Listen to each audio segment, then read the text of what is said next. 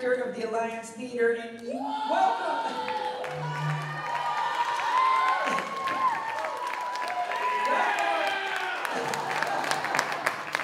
You guys, this is my favorite weekend at the Alliance. It is the Palefsky, Collision Project.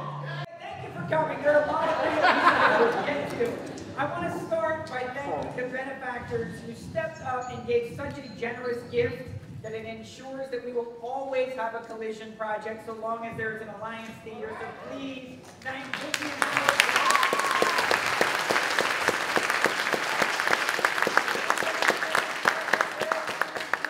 Palefsky and the Molly Blank Fund for believing so deeply in teen programs here at the Alliance. But I really need to thank the artists who make this possible, and I want to start by thanking the 20 young courageous souls you're about to see take this stage.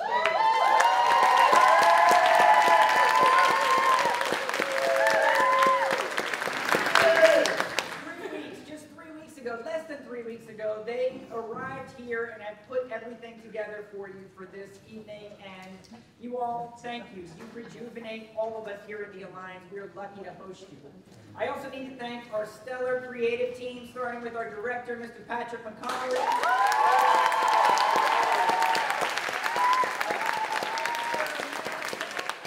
Rodney Williams.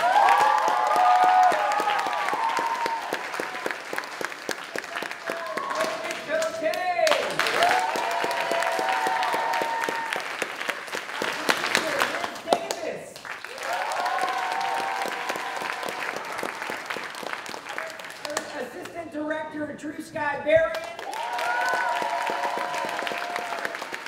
Stage Manager Autumn Stevens. Could not do this without our city's poet laureate and this year's this year's Paul Robeson Award winner, the Dramatist Guild Lifetime Achievement Award winner, Alliance Theater's Distinguished Artist in Residence, Pearl.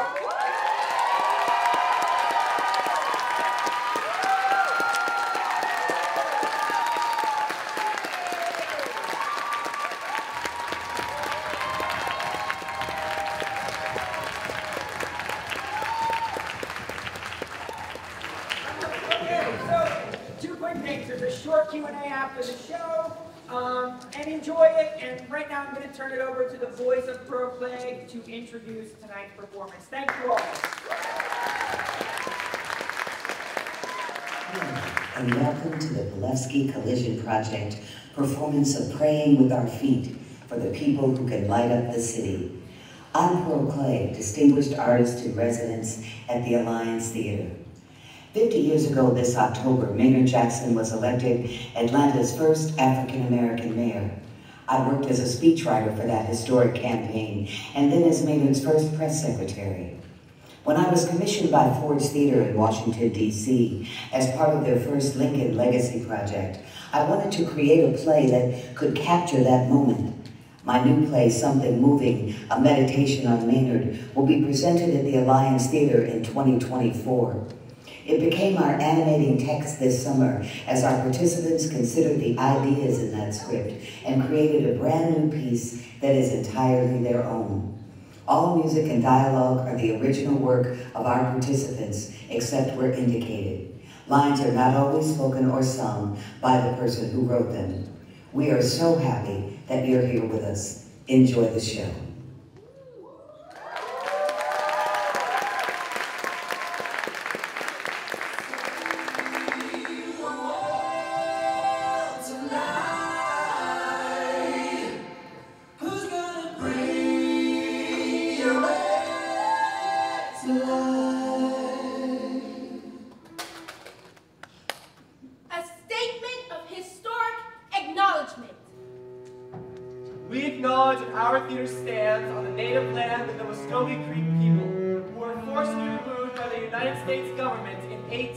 1838. Standing on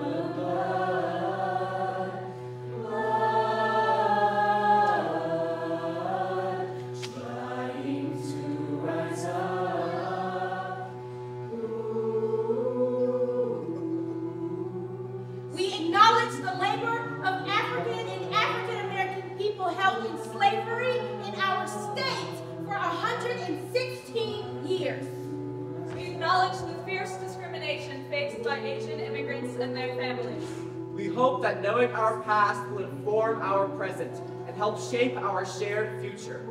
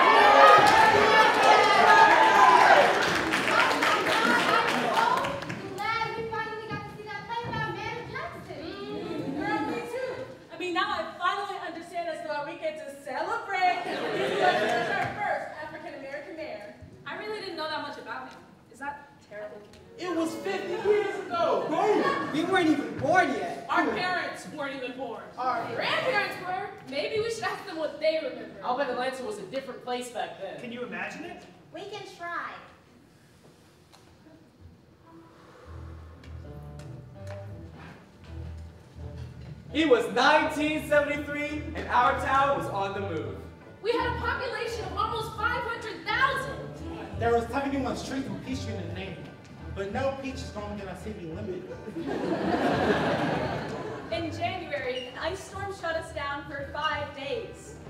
The monthly rent was $175. Minimum wage was a dollar sixty. And gas was 40 cents a gallon. Mini skirts and bell bottoms were on sale at Woolco's for eight dollars and eighty-seven cents. The Exorcist was the highest grossing movie of the year. Richard Nixon began his second term. The Supreme Court ruled on Roe v. Wade, legalizing abortion. The Watergate hearings began. Vietnam War ended. We had our annual road race and a gay pride parade. We even had international flights coming from our own airports every day. People were calling us a symbol of the New South. And Maynard Jackson running for mayor. The place said that for a lot of black people, voting for Mayor Jackson was the first ballot that they had ever cast. Not because they didn't want to, but because they couldn't. The Voting Rights Act of 1965 changed all of that. I remember in 1973, my son was so energetic and wild, you know, like any other kid his age. I asked, why are you so jumpy?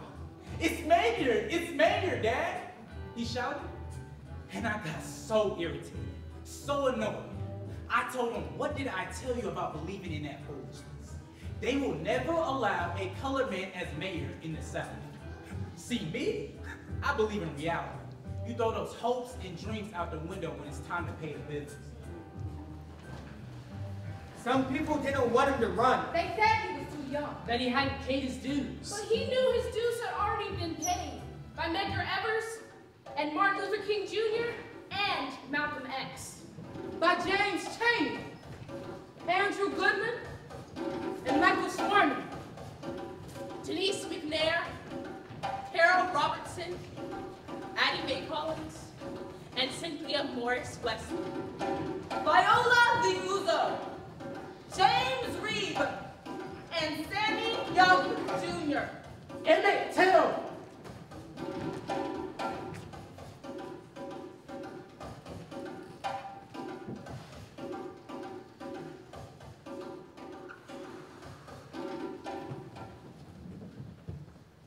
His campaign slogan was, Atlanta needs a leader, not a politician. But how did they know he was a good leader? How can you tell just by listening to them talk? My friend's grandfather says if there's a difference between what someone says and what they do, always go with what they do. A great leader doesn't sugarcoat the messages they give you. Strength, determination, empathy, and kindness are all traits I think a leader should have.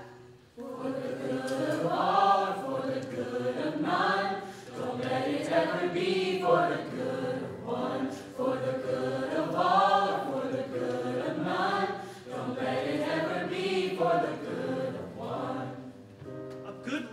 shouldn't try to please everyone if it keeps them from doing what they feel is right. A great leader has originality. A good leader fosters others' abilities and talents. To me, a leader is an artist. A leader should be open-minded. A leader knows how to turn a no into a yes. A leader accepts defeat with grace. Being a leader is to be for the people. And great leaders know how to stay grounded in reality. Someone who is kind and honest is not manufactured, it's real. A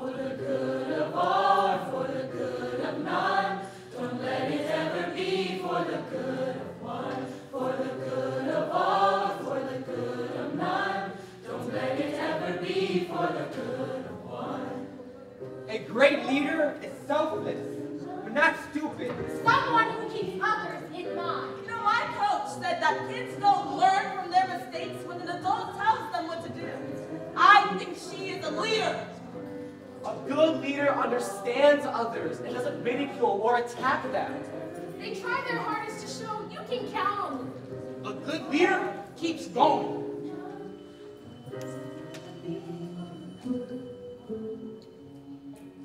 A great leader is like the moon.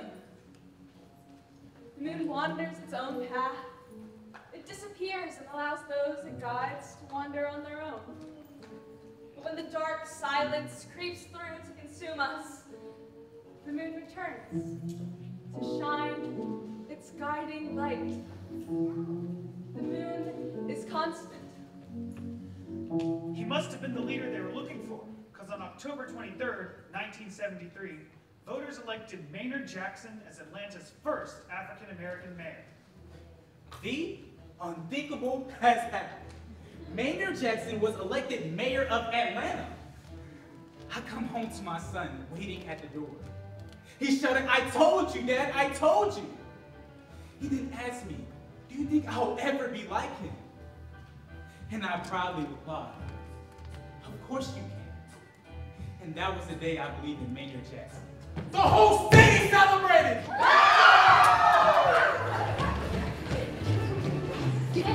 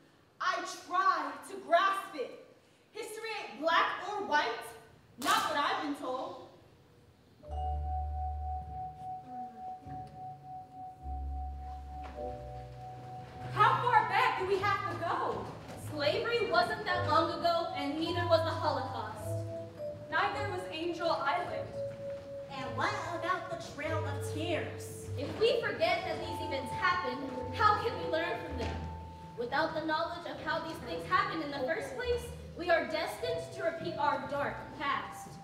Our city is still affected by the effects of slavery. Our city is not only the capital of a former slave state, but it's the heart of the civil rights movement. We had a black president a couple years ago, and now we have a black female justice on the Supreme Court. And a black vice president. The effects of slavery aren't limited to just black and white people. We all still fear each other. I've been told that I shouldn't exist because I'm Asian and mixed race. Our society is divided on whether we remember the bad things that happened in the past. The only way to protect ourselves is to protect each other. One night, I went to dinner with my family. After we ordered our food, a white man walked up to us with a beer bottle. He asked us what we were doing there. After my father replied that we were just ordering food, he asked us why we weren't eating our own people's food. Then he asked us what we were. I should have said we were Americans, just like him. We were born and raised in this country. But I was only eight, so we lowered our heads and said Chinese, like it was some disease we were infected with.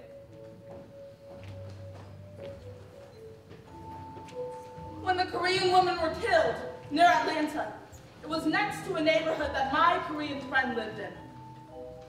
Her mom wouldn't let her out the house, and she didn't show up to school the next day because they were so scared.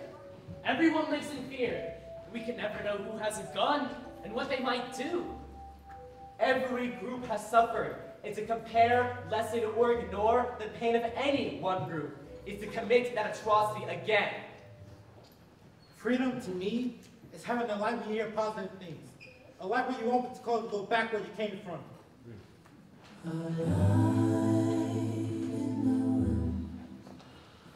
It was you who was standing there. Tried, As your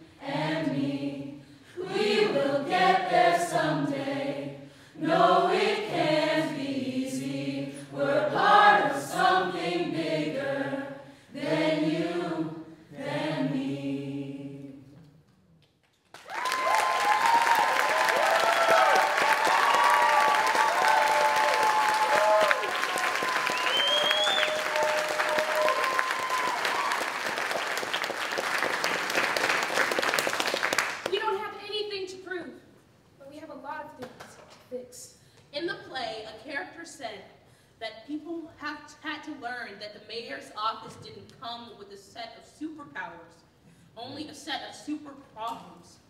All you have to do is look around.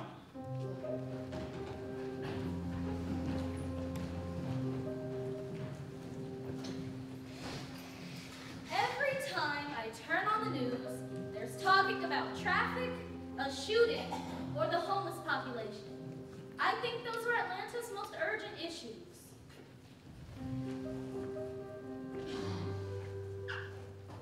One thing I am familiar with, and while it might not be a big societal issue to be solved with strong voices and caring souls, is still a problem I face every day. Traffic! No two streets in Atlanta are the same. I honestly think our most urgent problem is the lack of concern for equal education. I have gone to school in both the northern and southern part of my county, and I find it so disheartening. Can travel 45 minutes from my home and see a completely different world of educational opportunities. An urgent problem in Atlanta we face is air pollution. Thick clouds of smoke will sometimes loom over tall buildings. Big semi-trucks puff out harmful gas and fumes into the air that we breathe.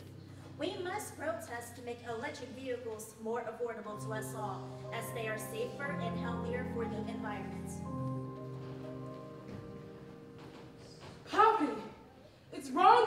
Have to live so poorly in a city like Atlanta? The city raises taxes and rent when so many people live paycheck to paycheck, making minimum wage. Minimum wage is so low that people literally can't live decent lives. Think about the people who have families to feed. And no matter what the employees do, the businesses never listen. The worst is when they pretend like they care. They apologize but do nothing. No pay raises, no sick leave, no maternity leave, no insurance. It's only in America that offering any of these things is big news. What does that say about us? Homelessness is happening all over Atlanta. People are living on the streets in the hot and cold weather, barely having enough to even sustain themselves. We first need to have compassion and empathy. We need to understand what is wrong and what is right. I continue to see huge rocks put in places where homeless people live, forcing them to move out. But where are they going to go? Some people say, just get a job and all your worries will go away. But it's not that easy. Imagine being homeless.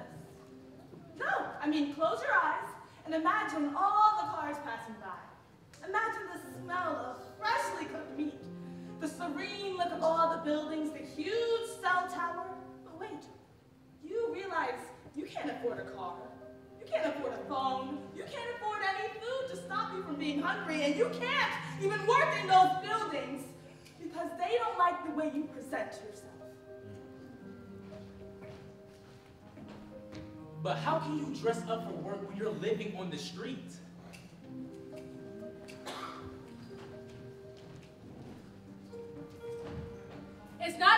People to rise up when your voice is never heard. What about gentrification and the forced evacuation of black and brown families and communities? So many people can no longer afford to live in the city, can't afford food and water.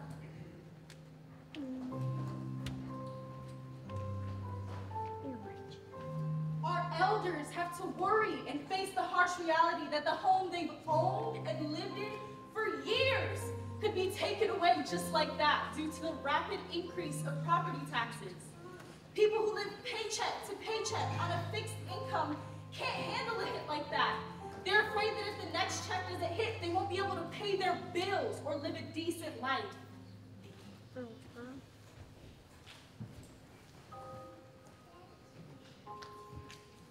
The most important issue I think needs to be solved is violence. This includes gun violence, sex trafficking, and even road rage. The gun laws need to be rewritten immediately. I agree. Gun violence is the worst. Over homelessness, Medicare, poverty, and inflation, it's dangerous to walk anywhere alone at night. And your fear increases 10 times knowing someone might have a gun.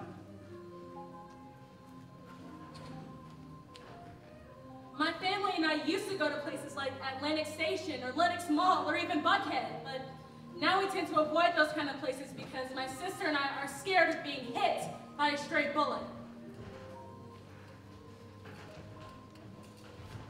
Yeah, we can talk about voting or the insane amount of car crashes. But the killing, the killing must stop. There are more guns than people in this country. The most urgent issue in Atlanta is police brutality. I agree. I remember hearing on the news about a shooting at a girl's birthday party. She was turning 16 and invited people to her house, but then more people started to show up who weren't even invited. When shooting broke out and people wouldn't leave, a guest was killed. His mom didn't even know he was at the party until she saw on the news that he got shot and died. When I heard this, I, I, I was sad, but not surprised. I'm getting accustomed to stories like this.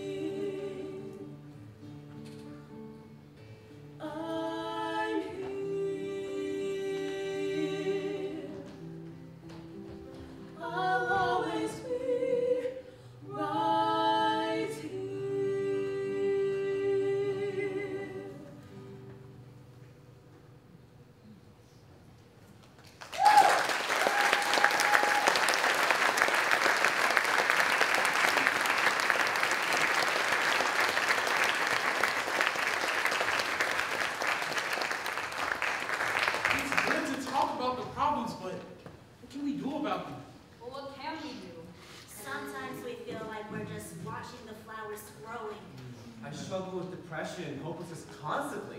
When Putin invaded Ukraine, I wept. I allowed people to bring me down, making me feel like I was drowning.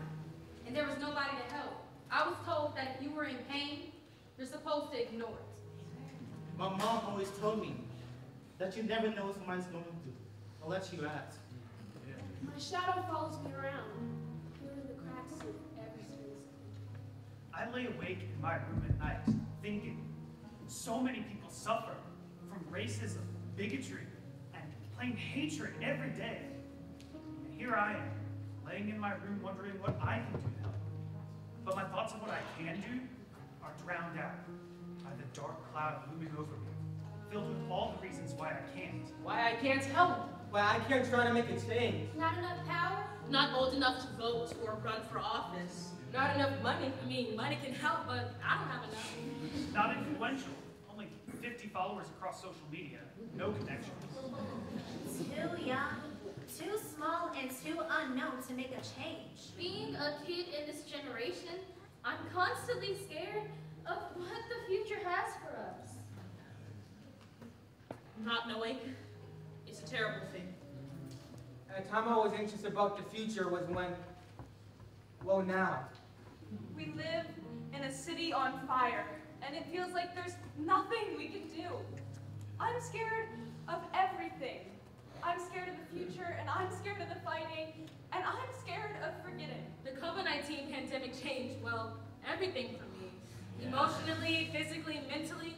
I mean, I spent the last two years of my life inside fearing a deadly virus with virtually no contact with any of my friends. I was also spending more time with my grandparents, so I was even more paranoid about where I went. During the pandemic, there was a lot of worry and uncertainty in the world as a whole. I mean, I was used to staying at home all the time, but the panic of the world scared me. Everything the media was putting out was about a shortage of masks, a shortage of tests, a shortage of tissue paper. The stores could shut down, and oh, there might be killer wasps. it was a very dark time. But I believe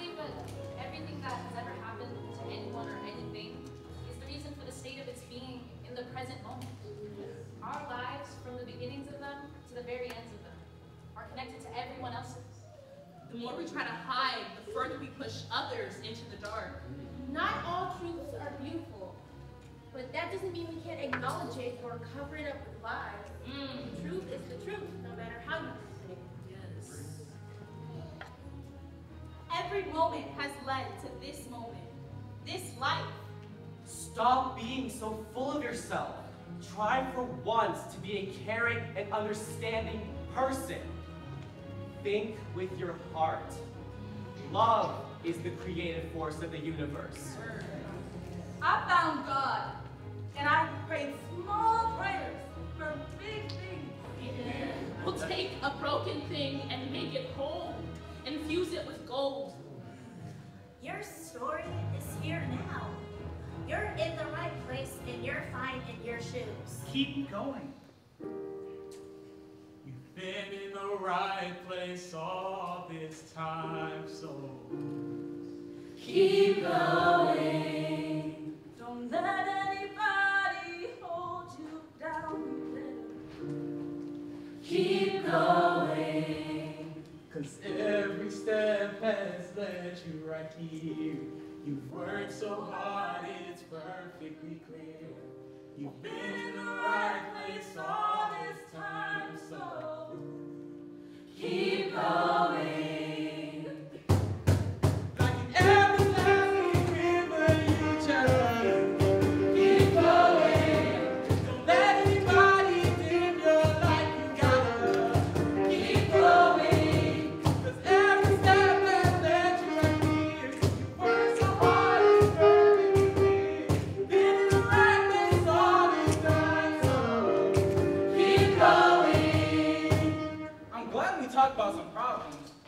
Thing is, I love Atlanta.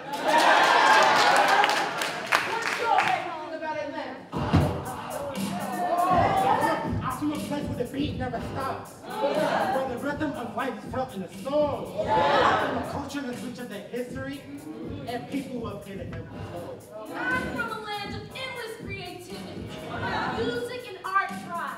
From a place where our voices rise up as we strive to keep our culture alive. I am from a town where the streets are colored with vibrant colors of our past, where we honor our ancestors and their legacy will forever last.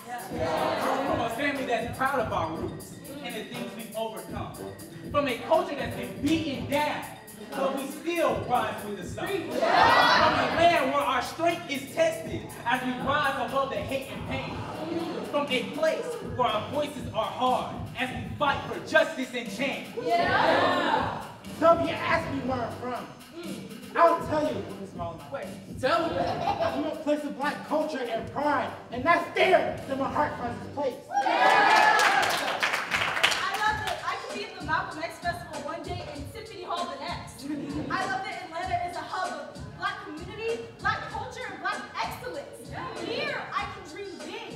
I love all the restaurants. Each one is different and there's something special about every single one of them. Even if two restaurants serve the same type of chicken, they'll be seasoned completely different. I know y'all feel me, but the food here is absolutely go I mean, I can have a good old Thai dinner the one night, and I can have a good old Southern style fried chicken.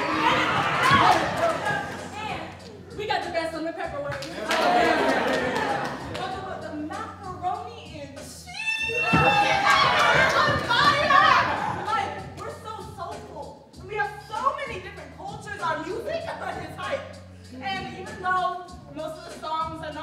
not rapping about the authenticity of Atlanta, and it's mainly about guys, girls, money, guns, all those loud words are us just trying to be heard.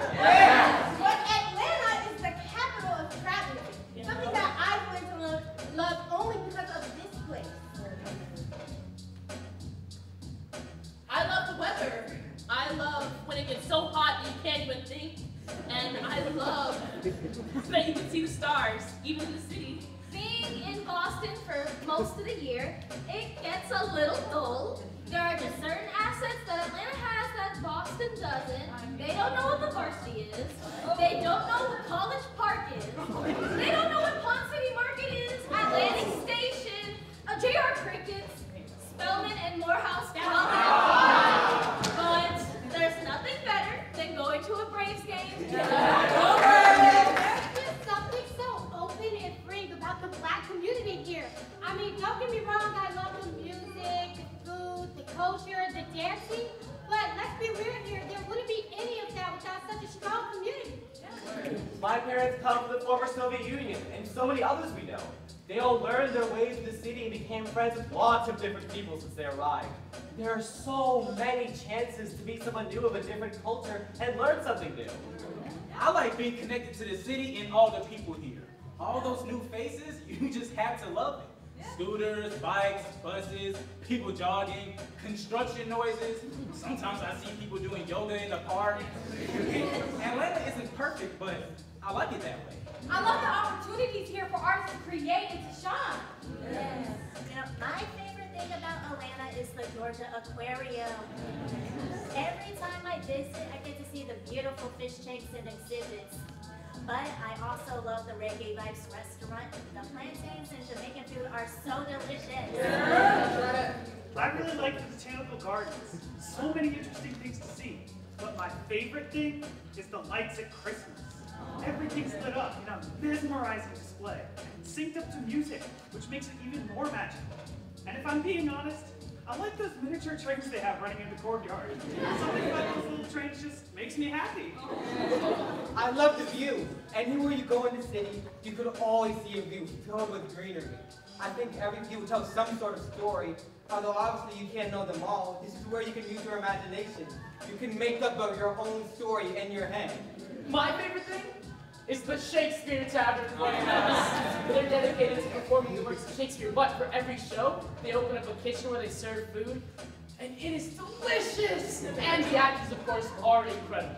Yeah, I mean, there's just so much to get inspiration from here. I mean, it floods your senses. It's just a city full of talent, an opportunity for that talent to get some exposure. I mean, rather than weird looks, when I sing on the street here, I get money. and Usher is cool too. I love the beautiful in downtown Atlanta. It's amazing how people can use spray paint to make amazing works of art. I love the murals too. My favorite one is of John Lewis, where it says hero. When me and my mom come home from a show, we take the interstate. You can see it on one of those big old buildings. Yeah. You see the cross of Ebenezer Baptist Church too.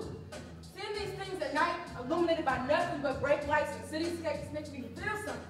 Like there's still hope left. I mean, y'all, if you love Atlanta this much now, just imagine how much we're gonna love it in the future. Why? Because we would have been a part of it. We have to slow down. It's important to move forward, but we move so fast that we get lost in it all. We don't have the time to reflect on our actions or take a moment to make something better. What do you think we'll be celebrating in 50 years? I'm hoping for a lot less fear and a lot more peace. Yeah. I would love to be celebrating a safer city. I hope we can celebrate the end of shootings in our schools, in clubs, and neighborhoods. Yeah. I, I want us to be able to greet each other without the word murderers coming into our minds. I want to celebrate women being safer on the streets. I want to be able to freely and easily vote in this city. Mm. 50 years from now, I want to be celebrating the election of Georgia's first black governor. Yes. I hope we'll also be celebrating the election of our first Asian American mayor or our first Latina mayor. You can only dream so far as you can see. I hope that we are celebrating the women's right to make her own decisions about her body. And I hope that we have pride parades as big as the ones in New York City to celebrate the I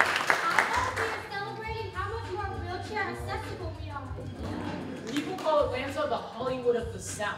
In 50 years, I hope they're calling Hollywood the Atlanta of the West. I hope our city will continue to be a safe haven for people from all walks of life, all genders, races, and physical abilities. I want us to be a city where everyone has a home, has a job, and has food. I want us to be a city full of happiness. Everybody, you know what's going on. It's time to show your power, come on. Yeah, it's a brand new day, what you waiting for? We're not just here to ride along.